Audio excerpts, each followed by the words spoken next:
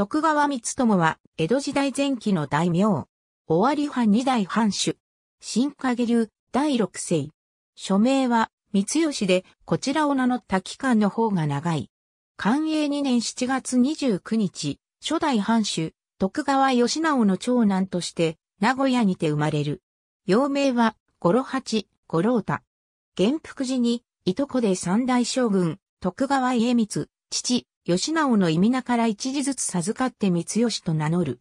慶安三年、吉直の死去により、家督を継ぎ、翌年に父の菩提寺として県中寺を建立する。女王三年、宮宿に西浜御殿を建造し、また、漢文元年には母の菩提寺として大森寺を建立した。漢文十二年に意味名を三つ友と改めた。自社奉行制度や表情書を設置し、完成の整備を図った。また、防火制度や軍備増強、林業制度の確立も行うなど、反省の基礎を固めた。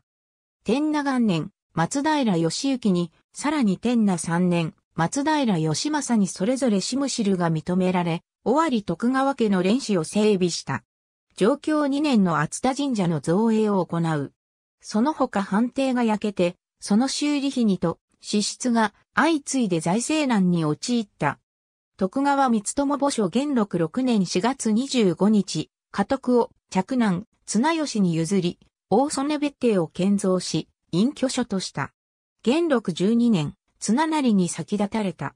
翌元禄13年10月16日、死去。去年76。武芸や茶道、東学、書など書芸に優れ、剣術は柳生岩尾法より学び新影流第六世を継承した。また、書では、五歳院、この江信弘兄弟と共に三筆と称せられることがある。日付イコール旧暦妹、狂気の娘たちを養女にしている。ありがとうございます。